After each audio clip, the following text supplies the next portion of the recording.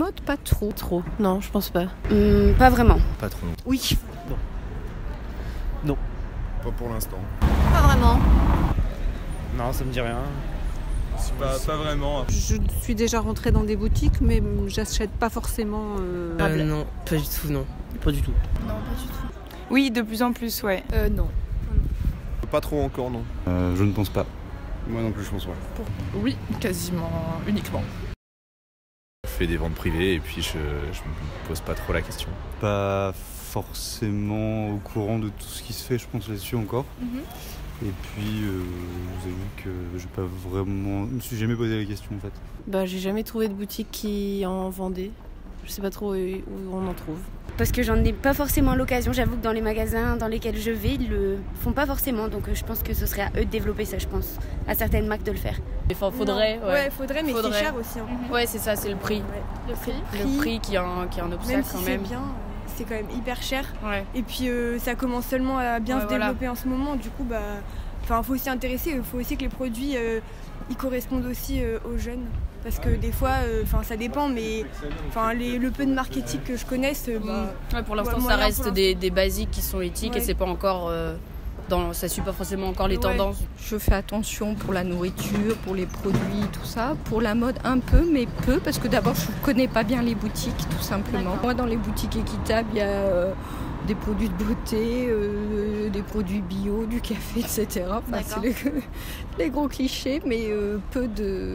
J'ai dû acheter une fois une robe euh, comme ça, une ou deux fois peut-être. Parce que c'est du greenwashing en général. euh. Moi jamais.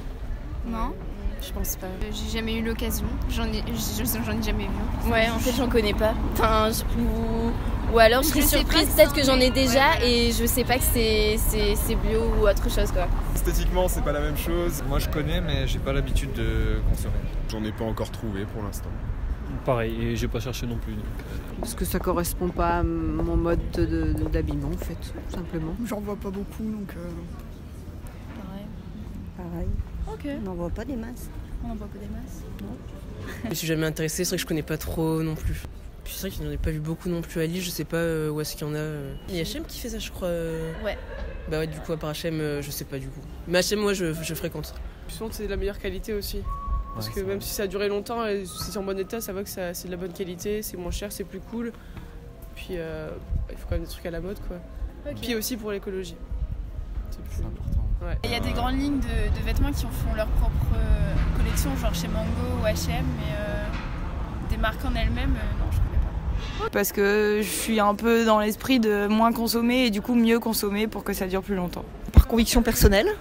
Alors pas autant que je le voudrais par euh, manque de choix aujourd'hui, puisqu'il n'y a pas encore énormément de choses. Et puis aussi des fois par euh, le prix qui est un peu élevé parce que justement pas de massification.